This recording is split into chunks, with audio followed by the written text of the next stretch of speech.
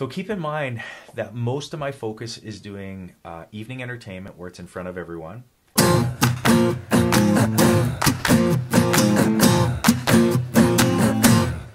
I want to make sure that I can connect with people beforehand. And so one of the things that I do that a lot of people don't do is I will meet and greet people just to build some rapport. Because one of the things that hypnosis brings up is a bit of a fear or Right. anticipation. So I'm breaking the ice that way. So I'm setting the tone that way.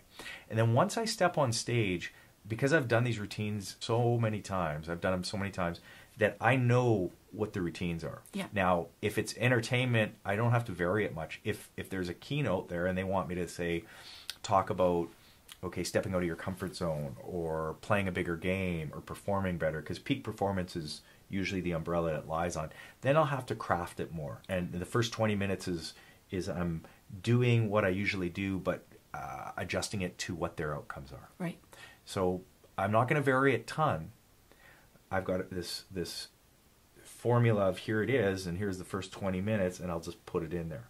And then once I get people up there, a big part of you know even my keynote, it's an interactive keynote performance where the people that come up on stage, those are the people that I really want to make sure that I get that group of people that I can work with because those are the ones that are going to be performing for everyone else. Right.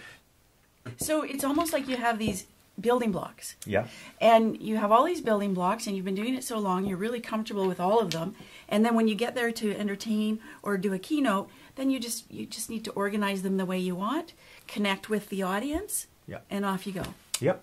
Yeah, that's simplifying it in a way where, you know, some sometimes I take this one out, Right. right? And I put that together. If, for instance, I have a, a person up on stage that really is illustrating the points that I want and the messaging, then that might stand out more, right? So Yeah. yeah, it's it's it's bits and pieces, blocks where I can um, Build a definitely build a show. Yeah. So that's that's how it goes. A lot of times, you know, I think people say, "Well, should I just wing it or should I just do it?" Well, winging it means that you don't really know what you're doing, uh, and it's coming from the heart, and that's great. But a lot of times, that's a default. Like in my experience, is that you know, in a Broadway performance, do they wing it? No. No. Um, and I know that we're not a Broadway performance. The element, though, and the and the foundation of us doing it time and time and time and time again is the same as a Broadway production. And a Broadway production goes into rehearsals, and they do those things over and over and over.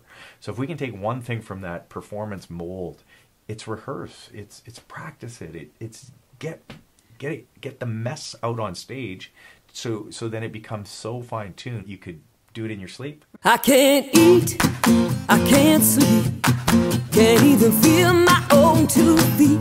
What's going on now that you're gone?